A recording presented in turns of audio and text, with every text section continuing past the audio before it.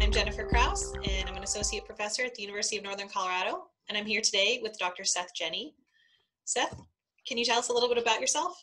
Yeah, I uh, teach at Slippery Rock University, and I've also created and taught several different technology related courses, uh, technology for physical educators.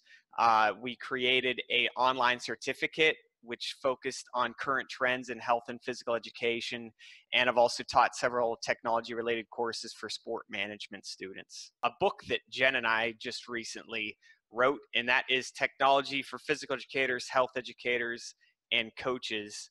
And uh, it's due out April 1st, 2020. And we want to talk to you today about one of those uh, topics that are in the book. So today, uh, we're going to specifically talk about uh, the use of portable wireless speakers. Seth, can you tell us a little bit more about what a portable wireless speaker actually is? Sure. So as I'm doing that, I'm going to pull up a few images. You can see uh, this is a battery operated portable wireless speaker. It's got a telescoping um, handle, so it looks like carry-on luggage. There's wheels at the bottom. Uh, it connects via Bluetooth technology, so a wireless connection to most often people may use a smartphone. They may use a, a tablet or a um, an ipad for example but it allows you to control streaming music through the device. It allows you to connect and I'll, let me show you another image that will a microphone so that you can enhance and increase the volume of your voice while you're talking. Sometimes people may even use a headset with uh, a, a, Bluetooth connection so that while they're teaching, it has an increased um, volume of your voice so that, you know, as, as a PE teacher, as a coach, uh, if even if it, you're at like a sporting event where you're trying to make a major announcement to a group of people, um, it will all increase the volume of your voice. Uh, these ones tend to be about 50 to 100 watts. Also, the capability of playing a radio, um, and it has uh, other auxiliary in ports where you can. If you do not have Bluetooth uh, wireless connectivity, you can hardwire equipment to the device as well. Why would someone really consider using one of these? Well, um, in the book, we go into a, a, pretty good detail of how music can uh, reduce uh, feelings of effort while you are exercising. And so you can see the number of, of recreational as well as professional athletes that exercise to music because it helps enhance uh, their, their performance and, and reduce the feelings of, of effort while they're exercising. But if we're thinking about it in a coaching, management, and or physical education teaching management sense.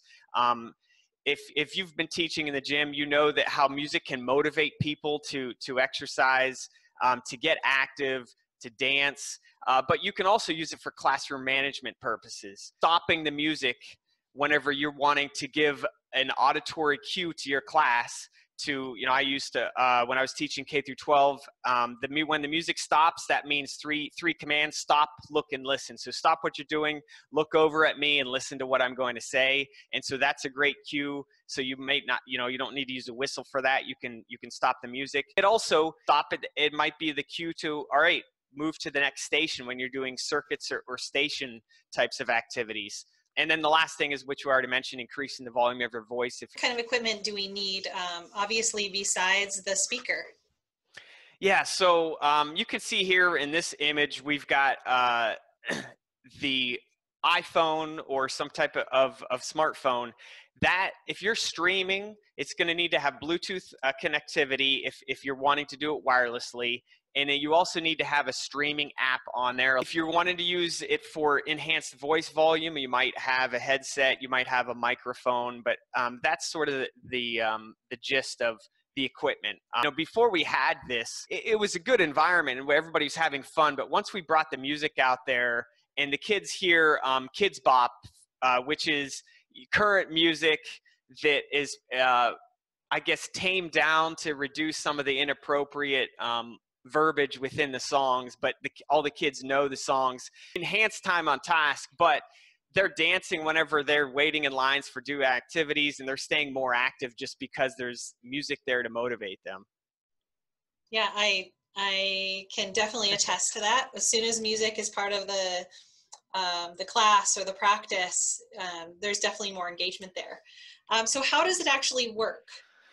So for the Bluetooth wireless connection, um, what you'll need to do is on the device, they will typically have a Bluetooth button and um, you click that button. So that's this uh, image right here, that icon.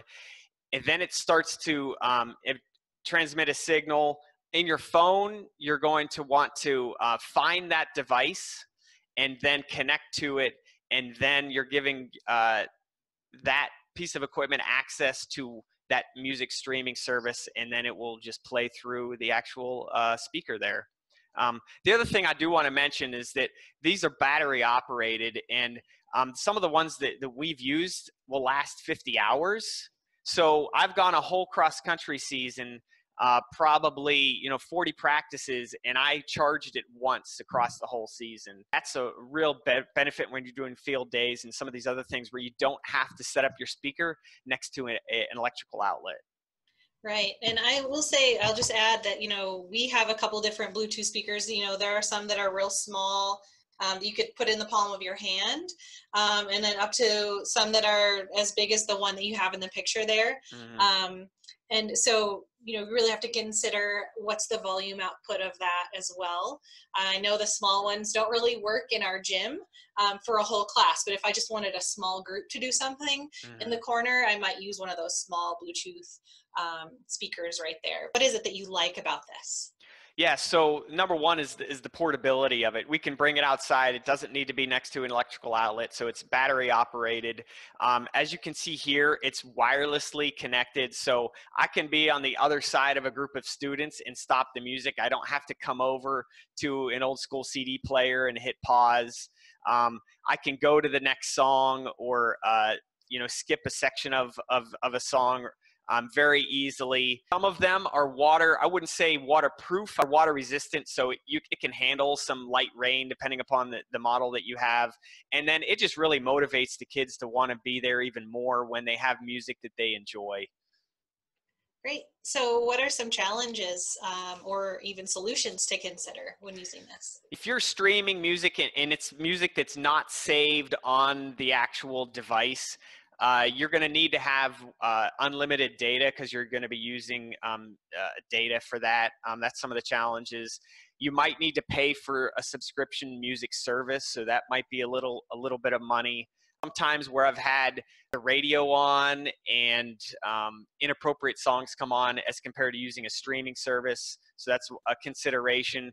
If you use some of this the free streaming services, they you know you'll be in the middle of activity and then a commercial comes on. You have to be aware of what's the range of the bluetooth connection as well. Some of them might be um, 150 feet uh, you know some of them might be you need to be within 30 to 50 feet while you're talking it's making me think about like the using my apple watch. So mm-hmm. i use my watch a lot to control my music um, and i don't have my iphone in my pocket.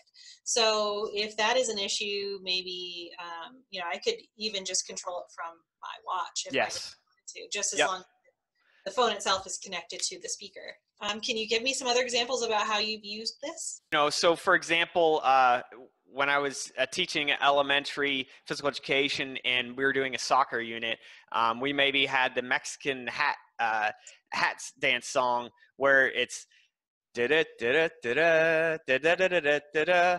Well, when it was um, da da da da da, the students were doing toe taps on the top of the ball, and then so they got the musical cues of what they were supposed to do, and then when it went into the the rest of the song that's when the students were dribbling around, being aware of spatial awareness, ball control, and then went it back to the, the toe tap sections of it. So um, motivating them, it may be relating to the actual motor movements that we're doing, uh, but also for management purposes, starting, stopping, transitions, um, all those types of things will help enhance a lesson. Thank you so much, Seth. Um, if you want to know more about using a portable wireless speaker, um, you can check out our book, uh, Technology for Physical Educators, Health Educators, and Coaches. It will be available in April on the Human Kinetics website and also on Amazon.